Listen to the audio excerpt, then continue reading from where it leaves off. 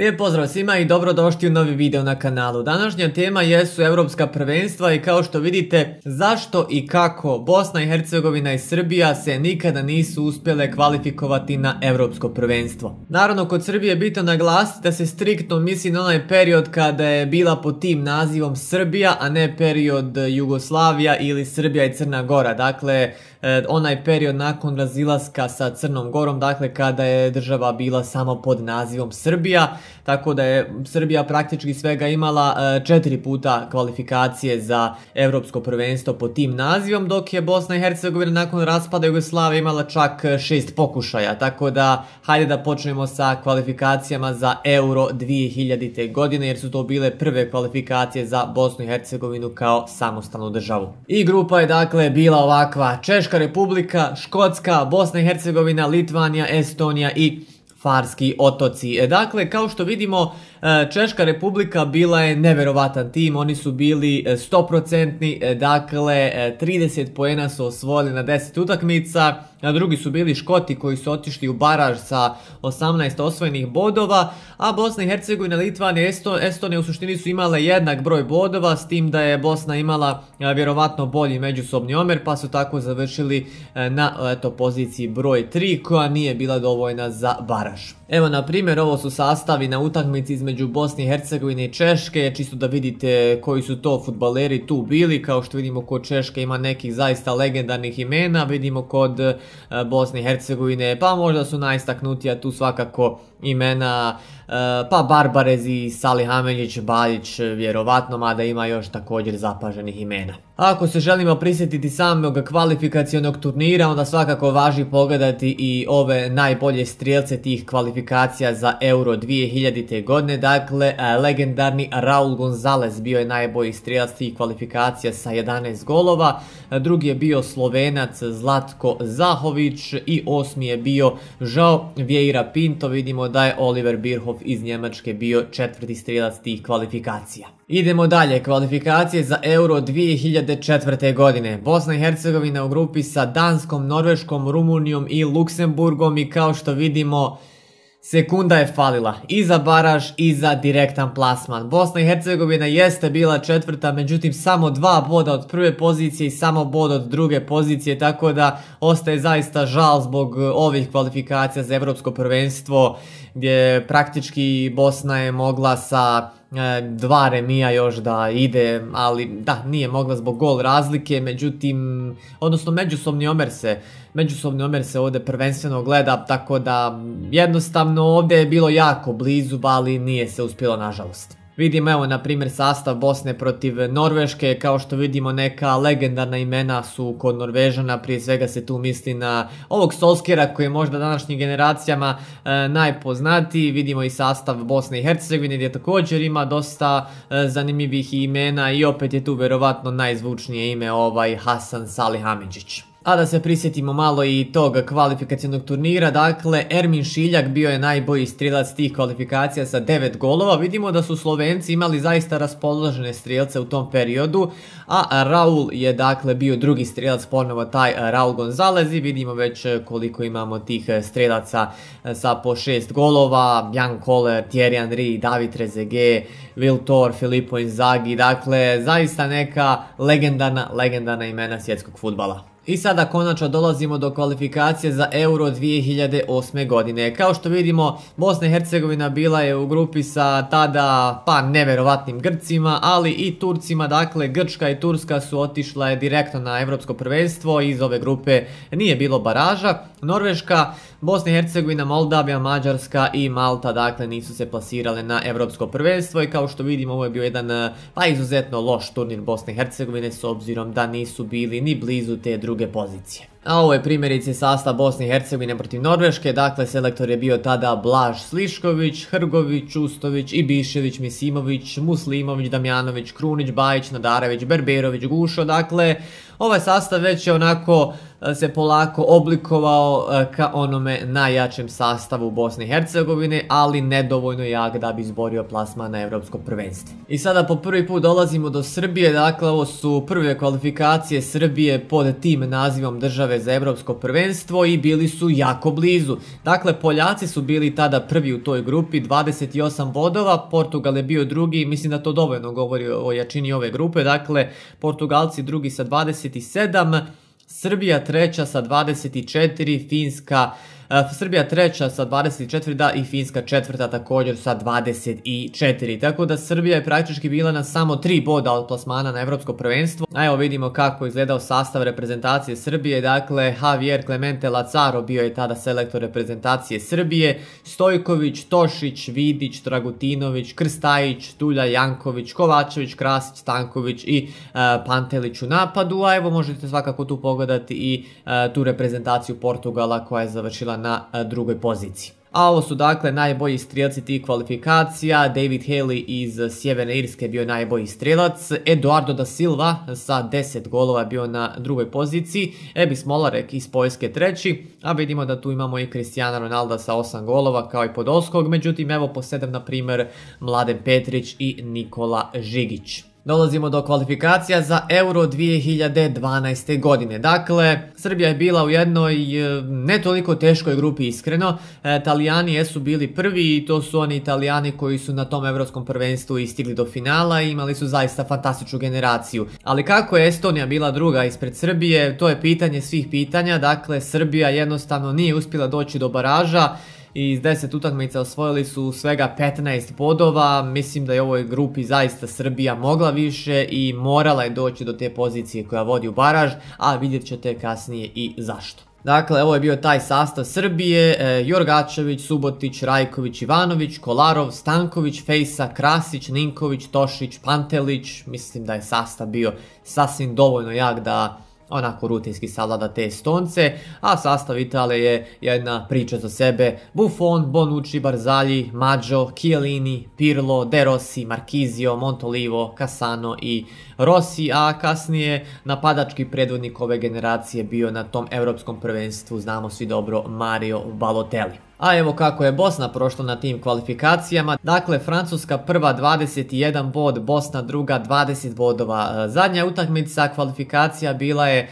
Francuska, Bosna i Hercegovina u Parizu gdje je Bosna vodila sve do neke 80. minute. Tada su Francuzi dobili penal i eto osvajanjem jednog boda izborili plasma na Europsko prvenstvo dok je Evo Bosna otišla u baraž. Još su u grupi bili Rumunija, Bjelorusija, Albanija i Luksemburg. Evo na primjer podsjetnik na tu utakmicu između Francuske i Bosne i Hercegovine koji su sastav izašli na teren. Ovo je po meni i dalje najbolja utakmica u historiji reprezentacije Bosne i Hercegovine koju sam ja gledao. Dakle, Hasagić, Panđa, Papac, Pahić, Mujđa, Medunjanin, Pjanić, Lulić, Rahimić, Misimović i Edin Džeko najstureniji. Vidimo sastav Francuske, dakle, Lloris, Reveljera, Mi, Abidal, Evra, Envila, Kabaj, Nasri, Remi, Menez i Maluda. Ali zašto rekao da je Srbija morala biti druga, pored toga što je Hrvatska tada bila u baražu i prošla preko Turske, e, dakle Estonija je e, bila sa Republikom Irskom u baražu i Republika Irska ih je onako e, porušila sa tih 5 naprema 1, tako da velike su šanse zaista da bi Srbija bila učesnik tog evropskog prvenstva 2012. godine, da je prošla do tog baraža preko Estonije, dok je Bosna i Hercegovina dobila nažalost taj Portugal. Prva utakmica bila je 0-0, ali u drugoj spasa nije bilo. U Portugalu su stradali sa 6 naprema 2, tako da Bosna preko baraža nije došla do eura. A evo i ko su najbolji strijelci tada tih kvalifikacija, Klasjan Huntelar, legendarni futbaler, ne, treba dalje ništa ni govoriti, a naravno tu je Miroslav Klose, tu je i Forsell, tu je legendarni Robbie Keane, Cristiano Ronaldo, David Vilja i tako dalje. Kvalifikacije za Euro 2016. godine nisu bile dobre za Srbiju, bilo je tu svega, ovo A pored Srbije znači da je zaista bilo i sankcija bodovnih prema Srbiji, znamo svi šta se tu dešavalo, da se sada ne vraćamo na te nemile događaje, dakle Portugal je bio prvi u toj grupi, tako da Srbija prije svega tu nije imala sreće. Albanci su otišli sa pozicije broj 2 na Europsko prvenstvo i čak mislim da su bili sjajni na tom Europskom prvenstvu, a Danci su otišli do baraža, dakle Srbija sa samo 4 boda iz 8 utakmica, tako da nije bila ni blizu. A ovo je na primjer sastav Srbije koji je ističao protiv Portugala, Stojković, Mitrović, Tošić, Tomović, Kolarov, Milivojević, Matić, Tošić, Ljaljić, Tadić i Mitrović. A vidimo evo sastav e, Portugala, Rui Patricio, Bruno Alves, Fonti, Nelson Semedo, Eliseu,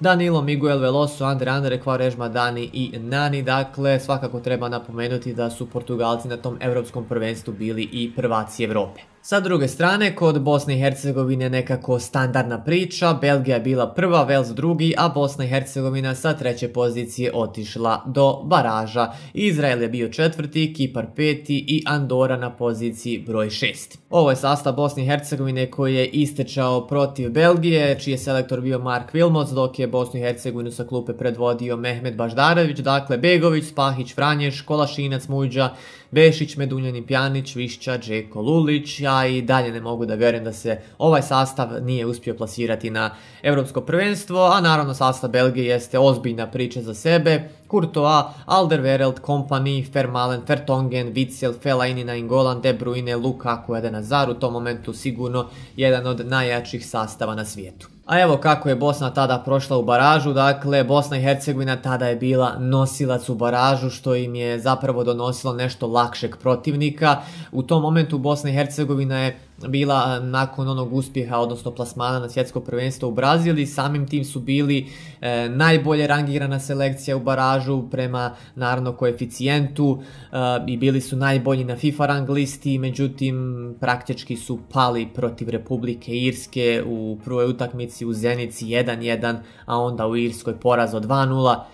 Tako da zaista ne mogu da vjerujem da ova generacija preko ove Irske nije uspjela doći do Europskog prvenstva. A evo ko su bili najbolji strijelci tih kvalifikacija, Robert Lewandowski sa 13, Zlatan Ibrahimović drugi sa 11, a naravno sa 8 golova bili su Edin Džeko i Arten Džuba. I posljednje kvalifikacije bile su kvalifikacije za Euro 2020. koje je kasnije prolongiran na 2021. godinu. Dakle, ovo je grupa Srbije koja ponovo nije imala sreće jer je ponovo došla sa Portugalcima. Ukrajina je tada bila prva, Portugal drugi, Srbija treća a naravno da treća pozicija nije donosila baraž, nego je Srbija baraž izborila zbog uspjeha kroz Ligu nacija, svakako ćemo doći i do toga, tako da nema veze to sa trećom pozicijom i da su bili peti opet bi išli u taj baraž. Ovo je bio sastav Srbije koji je predvodio Ljubiša Tumbaković, dakle Dmitrović, Milenković, Maksimović, Nastasić Kolarov, Matić Milivojević, Lazović, Tadić, Kostić i Mitrović. Vidimo evo i e, sastav Portugalaca koji je bio pa poprilično jak zaista. Ali ono što je najbitnije jeste ovaj dakle baraž, odnosno playoff kroz Ligu nacija preko kojeg je Srbija mogla doći do Eura 2020. godine. Dakle, Srbija je najprije preko produžetaka izbacila Norvežane, da bi nakon toga došli do e, finala protiv Škotske gdje su bili favoriti, međutim Škoti su boljim izvođenjem penala ipak stigli do